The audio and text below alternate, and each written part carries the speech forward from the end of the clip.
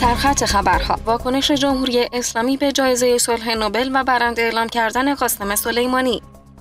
تصمیم پوتین برای لغو معاهده آزمایش سلاح هسته‌ای و احتمال حمله هسته‌ای.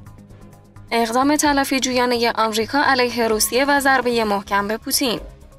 و شورش از زندان آغاز شد. سه کشته و 16 زخمی تا حالا.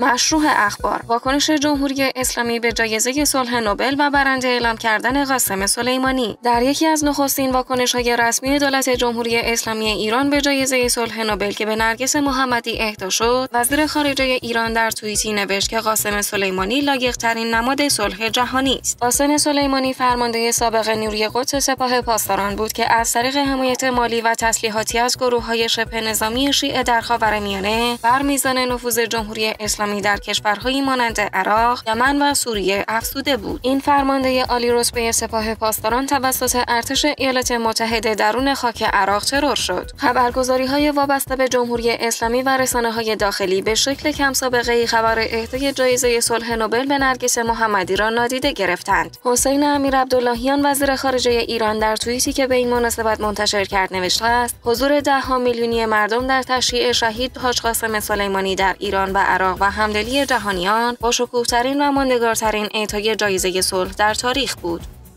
تصمیم پوتین برای لغو معاهده آزمایش سلاح هسته‌ای و احتمال حمله هسته‌ای. دمیتری پسکوف سخنگوی کاخ کرملین جمعه 14 مهر اعلام کرد. احتمال لغو تصویب معاهده منع جامع آزمایش‌های هسته‌ای از طرف روسیه به این معنا نیست که مسکو قصد انجام آزمایش‌های هسته‌ای را داشته باشد. سخنگوی کرملین در مورد اظهارات رئیس مجلس دومای دولتی روسیه به خبرنگاران گفت مجلس دوما قصد دارد در جلسه بعدی موضوع لغو تصویب معاهده منع گسترش آزمایش آزمایش های هسته را مورد بحث و بررسی قرار دهد. اما این به معنای اعلام قصد روسیه برای انجام آزمایش های هسته ای نیست. خبرگزاری تاس به نقل از دمیتری پسکوف گزارش داد که گفته منظور ولادیمیر پوتین رئیس جمهور روسیه در درجه اول رسیدن به یک مخرج مشترک است. وی افزود به این دلیل است که ما مدت ها پیش این معاهده را امضا و تصویب کردیم اما آمریکایی ها آن را تصویب نکردند.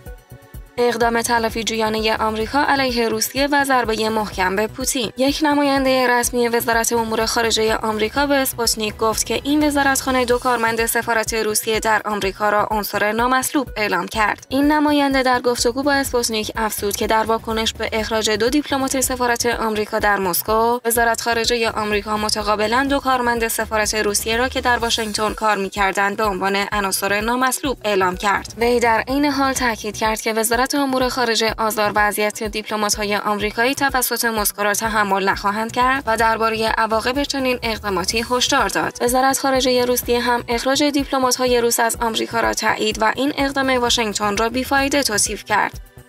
و شورش از زندان آغاز شد. سه کشته و 16 زخمی تا حالا. وزارت امنیت داخلی لبنان اعلام کرد در ساعت 12 و 30 دقیقه ظهر امروز جمعه به وقت محلی شماری از زندانیان با هدف فرار از زندان اقدام به آتش زدن فرش و البسه در سلول های واقع در طبقه دوم زندان کردند. بر اساس این گزارش نیروهای امنیتی در محل حضور یافتند و اجازه فرار به زندانیان شورشی ندادند و نیروهای آتش نشانی نیز با حضور در محل آتش را خاموش کردند. این گزارش گزارش میافزاید سه نفر بر اثر استنشاق دود کشته و 16 نفر نیز آسیب دیدند که برای درمان به مرکز درمانی منتقل شدند و وضعیت آنها پایدار است. این زندان در استان بقا واقع در شرق لبنان قرار دارد و شمار زندانیان این زندان 600 نفر تخمین زده می شود